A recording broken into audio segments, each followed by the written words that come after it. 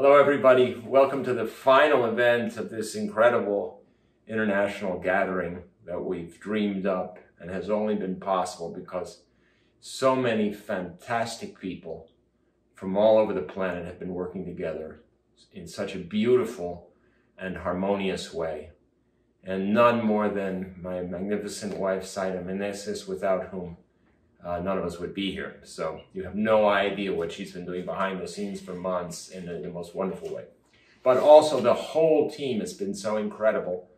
And what we've tried to do in this festival is to show that we really are one human family and that we can get together across many time zones, many continents, many cultures. And uh, we thought it would be a lovely tribute to our beloved departed Maestro Luciano Berio to do some of these tremendous violin duets that he has. He has 33 of them. And we've picked out a set of six. And we open with the same one that we end with. Um, and they are all written either as tributes to um, friends of his or to people that he loved very much. The, the one we are opening with and closing with is the only one that's really purely tonal. It's called Aldo, dedicated to Aldo Bennici, the wonderful violist who was Maestro Luciano's lifelong friend. And then it goes to what are some of the other ones we're doing here? Bela. As in Bela Bartok. Mm-hmm. Shlomit, I'm not sure who that was. And what's the next one? a friend, no? A friend, Alfredo. Alfredo. Yeah, Igor. which is Stravinsky. Mm-hmm. Annie. Annie, another friend. And. Aldo. And finally, Aldo Bennici at the end. And the Aldo, the Aldo is based on a Sicilian folk song. Uh, si fossi, si fossi fish. If I were a fish. Mhm. I'm a fisk, not a fish. Yeah.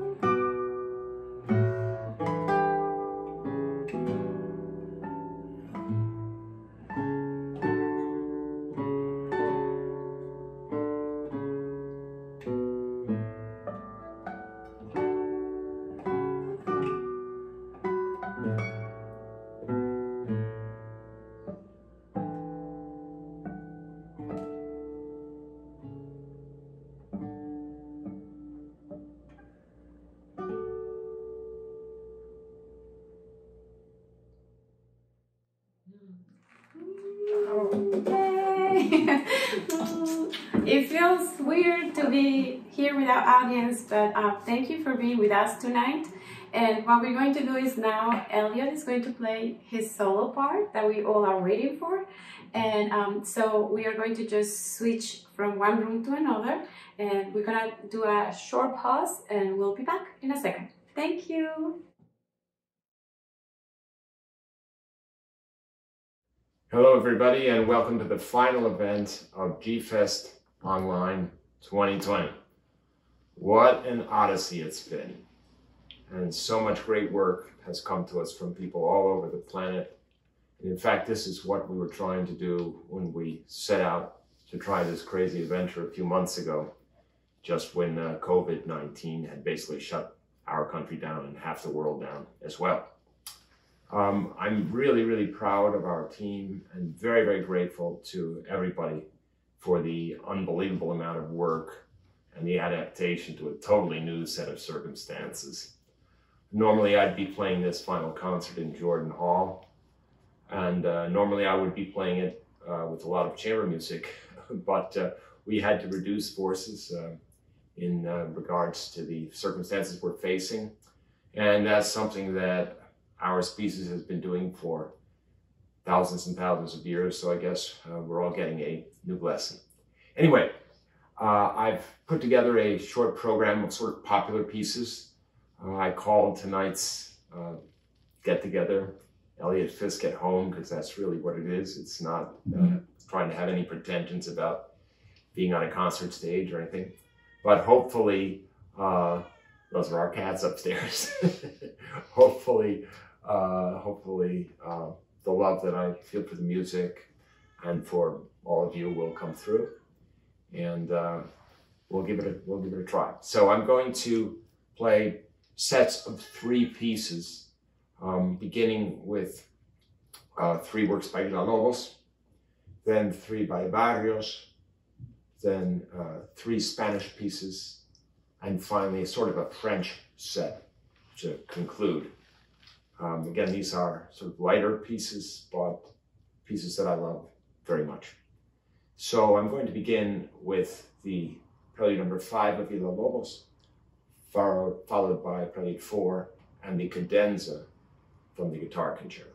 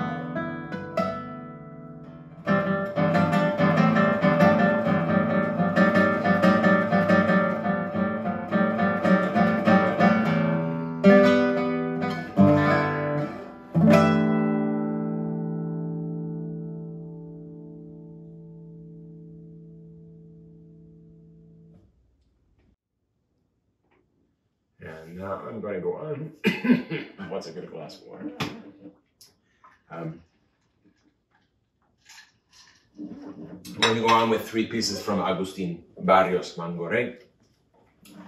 The Cueca Chilena, which is a dance from Chile. You remember Danilo Cabaluz uh, talking about all the dances of Latin America when we opened the festival. And uh, after that, I'm going to play the Limosna, Por el Amor de Dios, the final piece of Barrios, which is a tremolo piece, uh, which has a story to it.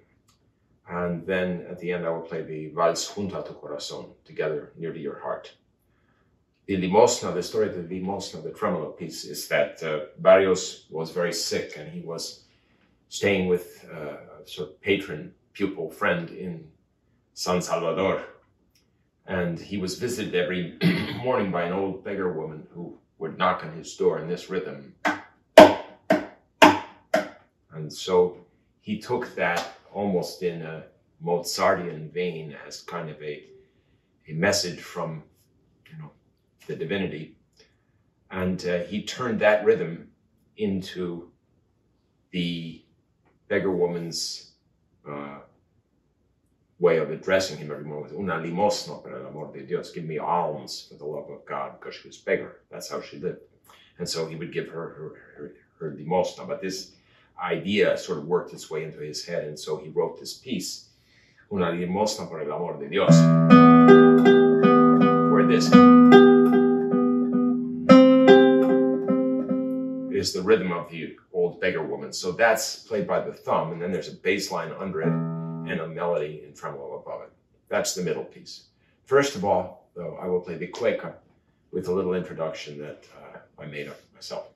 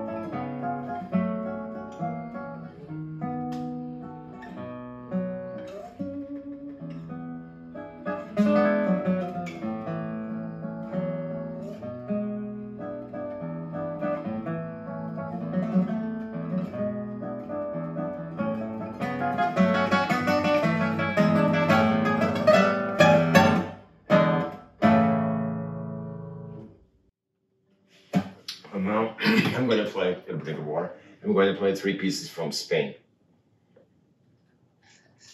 Uh, two by Albeniz, both very famous, the Portrait of Granada and the famous Asturias, also known as Leyenda. And I will follow those with a little tiny piece by Tarrega called Lagrima.